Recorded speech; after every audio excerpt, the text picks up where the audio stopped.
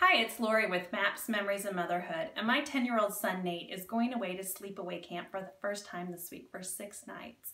I'll admit I'm a little anxious about it, but I've got some tips that you won't find on your camp list that hopefully will make this process a little bit easier.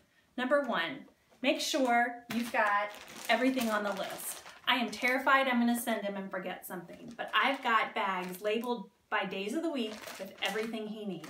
In addition, I've got extras and everything is clearly labeled so he knows where it is.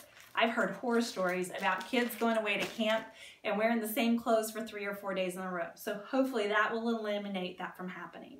Second of all, I am not a camper, but we all know how uncomfortable bunk bed mattresses are. So what I've done is I've got some $10 foam egg crate mattress pads. You can find these at Target, Walmart, on Amazon, and this will really help make them their sleep a little more comfortable because they're going to be tired after lots of activity during the day. So we make sure they get lots of rest at night.